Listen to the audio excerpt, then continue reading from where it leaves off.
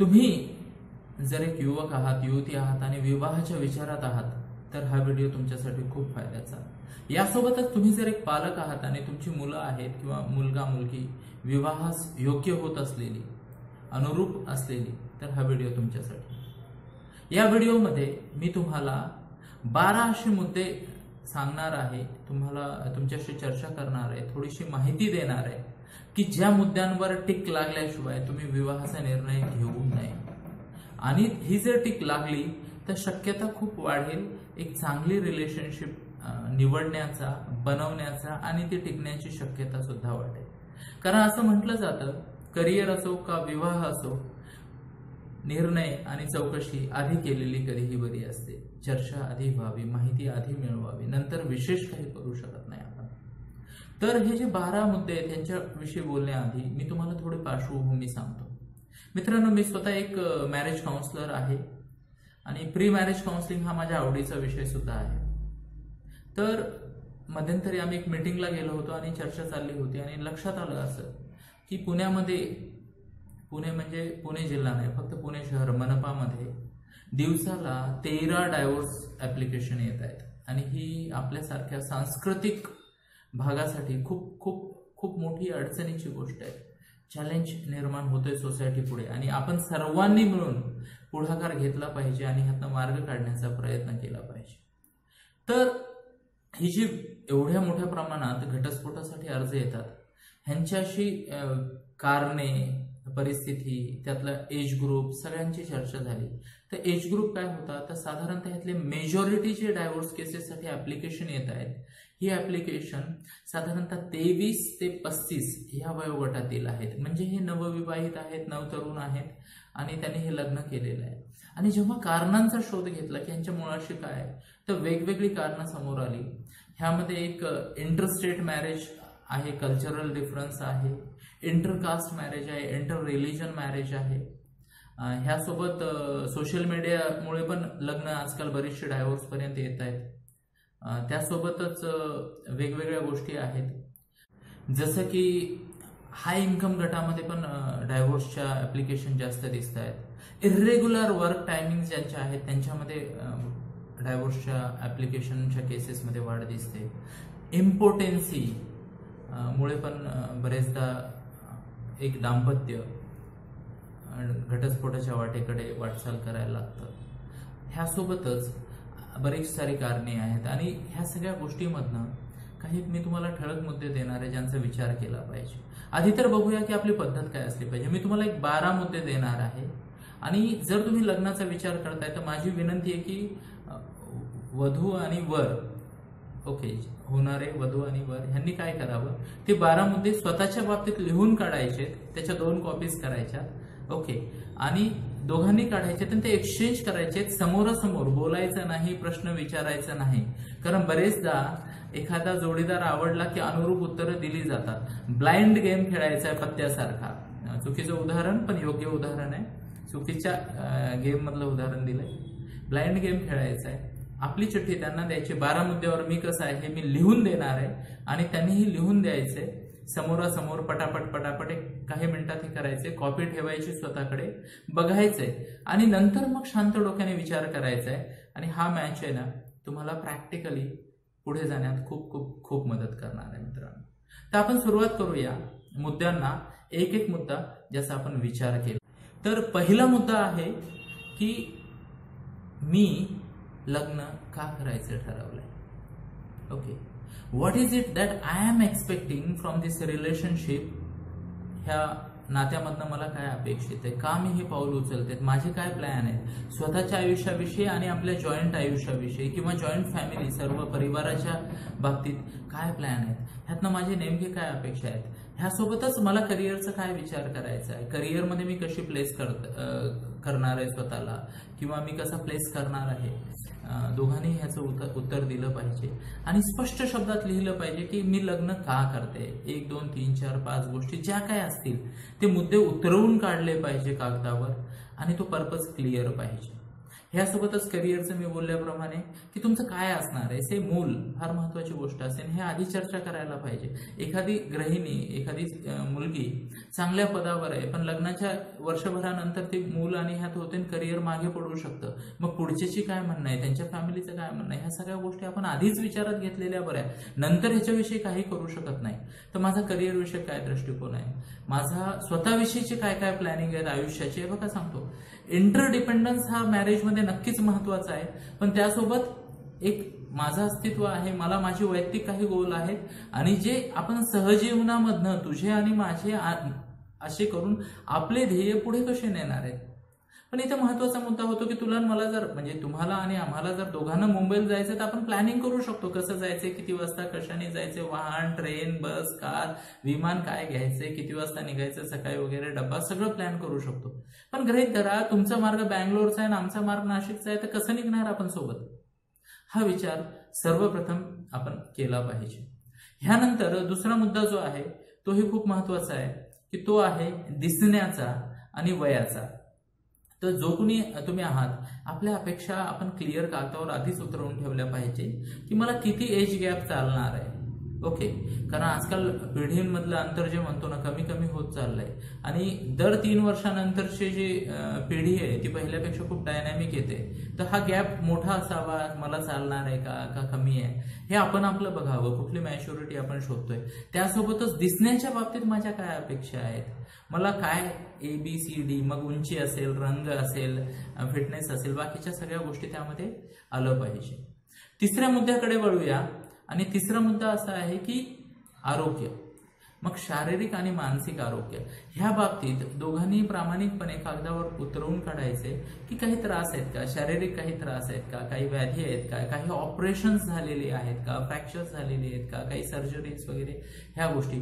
मानसिक काही आजार आहेत का? ह्या सोबतच फॅमिलीमध्ये काही मानसिक आजाराची हिस्ट्री आहे का?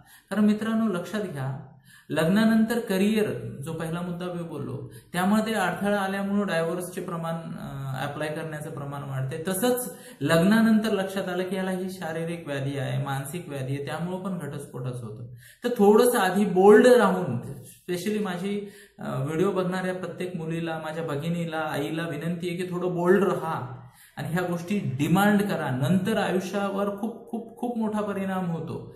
आणि कधी न भरून येणारं नुकसान होतं. मुलांना पण विनंती आहे की ह्या गोष्टी प्लीज इन्सिस्ट करा आणि सगळी माहिती पूर्ण काढून घ्या.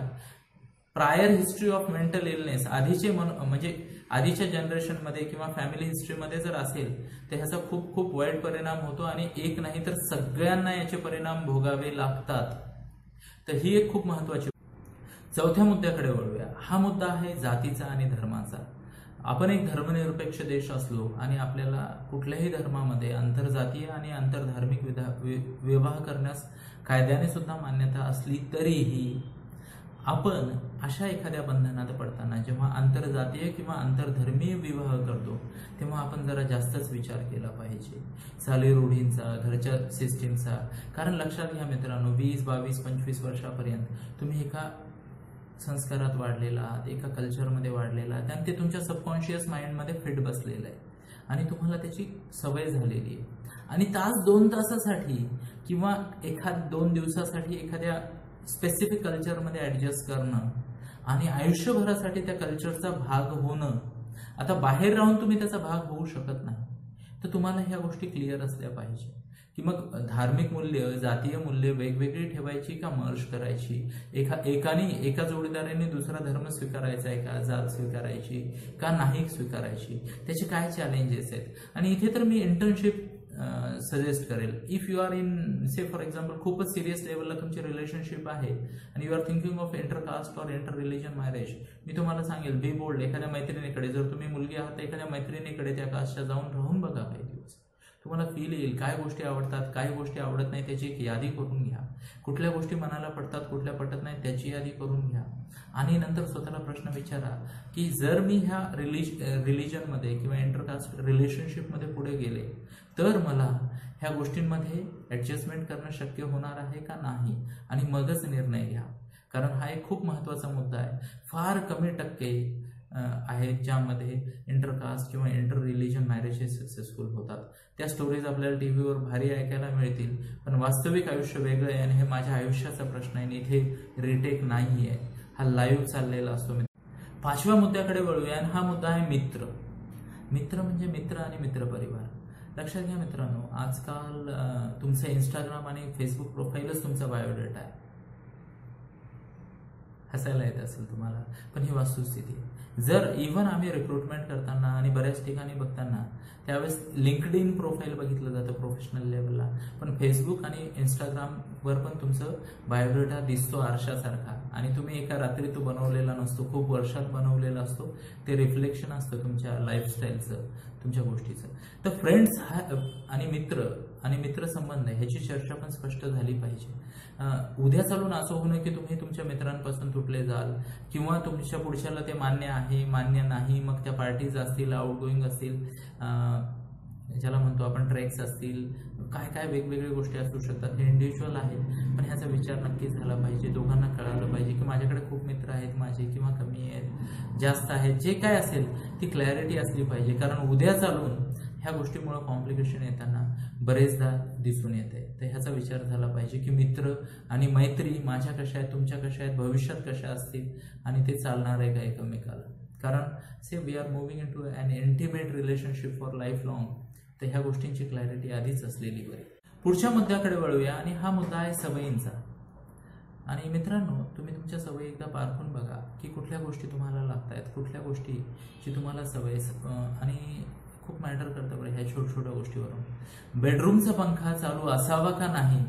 ह्या कारणामुळे पण डायव्होर्सचे ॲप्लिकेशन आलेले आम्हाला माहिती आहेत ओके म्हणजे साधं पांघरण कसं असावं? बेड कुठे असावा?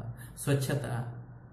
आणि अशा वेगवेगळ्या टाईम पंक्च्युअलिटी ह्या सगळ्या गोष्टी ह्या छोट्या छोट्या गोष्टीमुळे डायव्होर्सच्या केसेस आलेल्या आम्हाला तर तुम्ही तुमच्या सवयी बघा. त्यातले काही कंपल्शन्स असतात. प्रत्येकाच्या आयुष्यात काही सवयी असतात त्या त्यांच्या आयुष्याचा इंटेग्रल पार्ट असतो.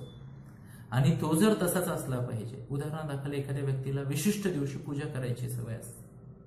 ओके आणि त्या दिवशी त्याला मग एक्स वाय झेड गोष्टी चालत नाहीत.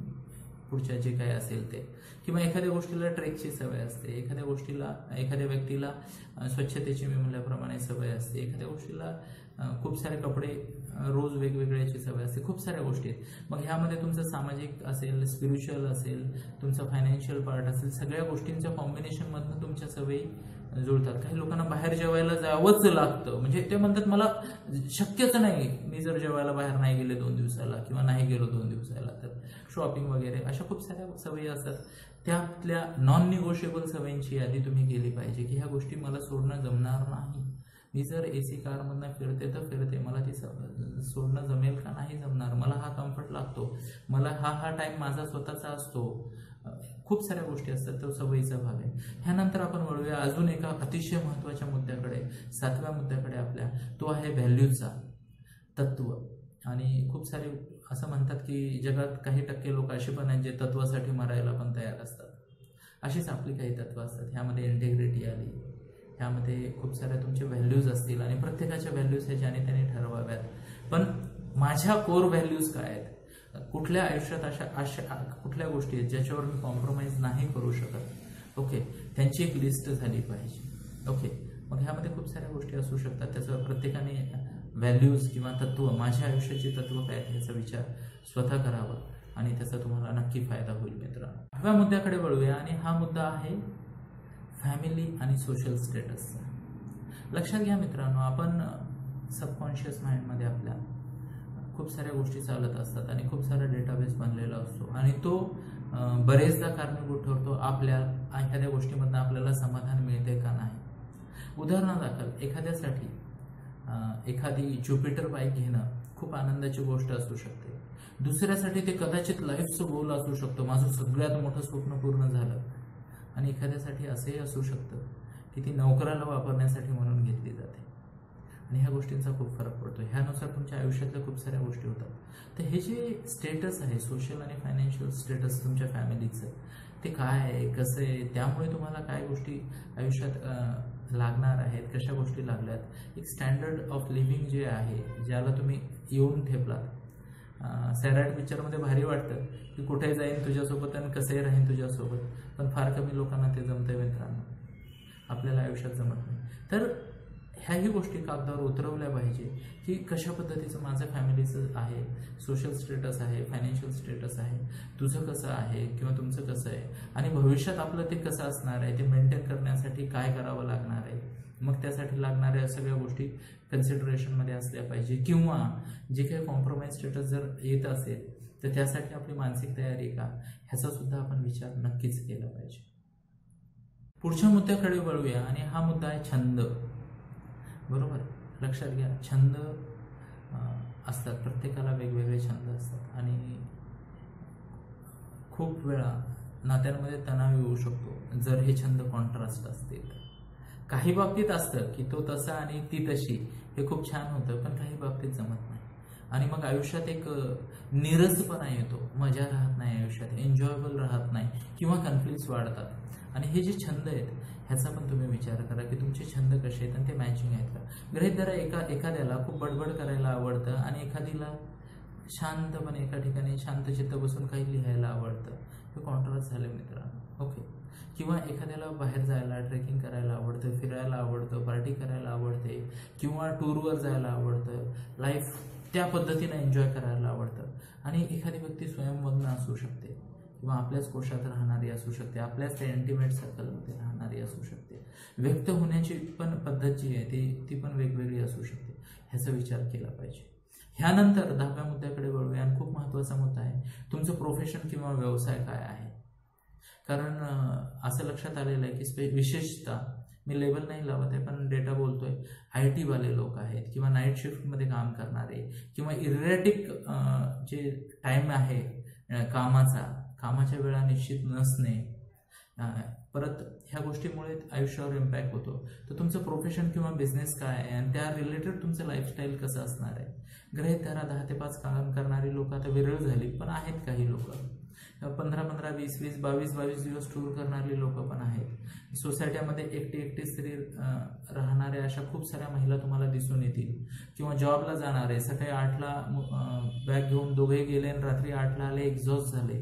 त्यामुळे पण मग सगळ्या गोष्टीमध्ये ताणतणाव येऊ शकतो. मग वर्क शेअरिंगची अंडरस्टँडिंग असली पाहिजे तुमची. बाकीच्या गोष्टींचा पण तुमचा विचार असला पाहिजे आणि त्यानुसार तयारी.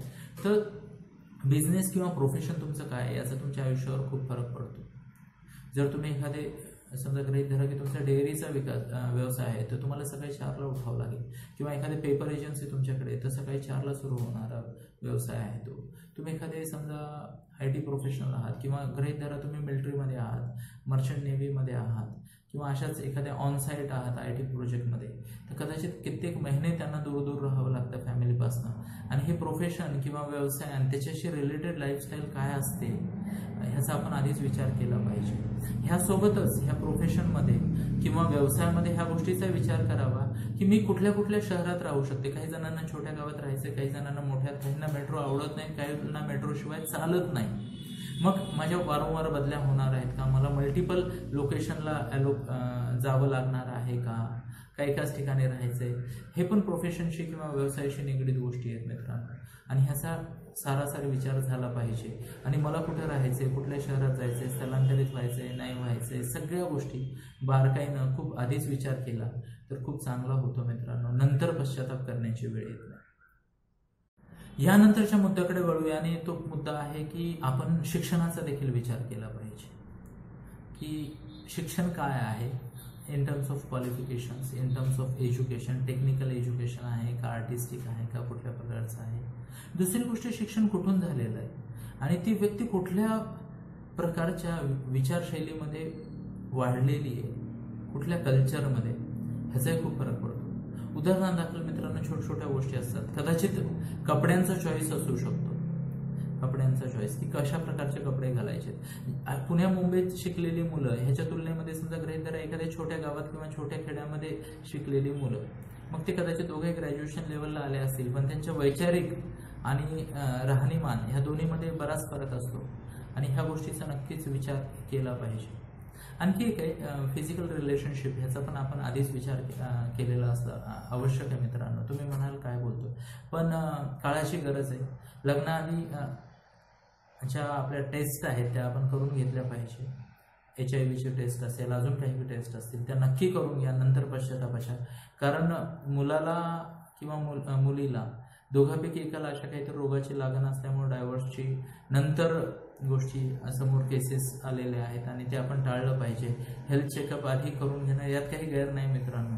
आपण प्रामाणिक आहोत पण आपलं बॅड लक होऊ नये नंतर आणि पश्चाताप करायची वेळ येऊ नये म्हणून हेल्थ चेकअप केलं पाहिजे. दुसरी गोष्ट ही पण आहे की स्पेशली मुलींनी ह्या गोष्टीचं आधीच क्लॅरिटी करून घेतलेली मला हे म्हणायचं आहे की मूल ओके कधी असावं. ओके बऱ्याचदा मुलीला लग्न झालं की लगेच मुलाचं हे होतं आणि त्यांच्या करिअर करिअरवर त्यांचा विपरीत परिणाम होतो. हो, करिअरचा वाढता आला की एकदमच डाऊन येतो आणि गृहिणी बनून जाते ते आणि अशा खूप साऱ्या गृहिणी आहेत. तर ह्या गोष्टीचा आधीच आपण विचार केला पाहिजे. आणि माझ्या तुम्हा सर्वांना सल्ला आहे की ह्या हे जे काही मी बारा मुद्दे दिलेले आहेत ओके? ह्या मुद्द्यांचा विचार करा. एक एक मुद्दा कागदावर उतरवून काढा पुढच्याला उतरवून घ्या कागद एक्सचेंज करा. कारण मी सांगतो समोरासमोर बसून प्रश्नांची उत्तरे बॉडी लँग्वेज बघून आणि त्या त्या सिच्युएशनला वेगळी दिली जाऊ शकतात. पण जेव्हा पुढच्या व्यक्तीला किंवा तुम्हाला तुमच्या स्वतःविषयी कागदावर काही लिहायचं आहे तेव्हा तुम्हाला एकच चॉईस असतो. आणि त्या प्रश्नांची उत्तरं आधीच लिहून काढायची एक्सचेंज करायची. पटलं तर ठीक आहे नसेल तर आपले आपले कागद घेऊन वेगळ्या मार्गाला लागा. आणि पटलं तर खूप छान. तुम्हाला भावी चांगल्या चांगल्या चांगल्या आयुष्यासाठी. आणि खूप खूप शुभेच्छा आमच्याकडनं. आणि मित्रांनो लक्षात घ्या career choices and marriage choices are life choices तर करिअरचा प्रश्न असो का लग्नाचा प्रश्न असो लाजू नका संकोच करू नका. कारण नंतर पश्चाताप करण्यापेक्षा आधी वेळेवर सल्ला घेतलेला बरा. आणि सोहम लाईफ कन्सल्टन्सीच्या माध्यमातून आम्ही ह्या सेवा देण्यासाठी तत्पर पण आहोत आणि आमच्याकडे ती तज्ञता पण आहे. Thank you friends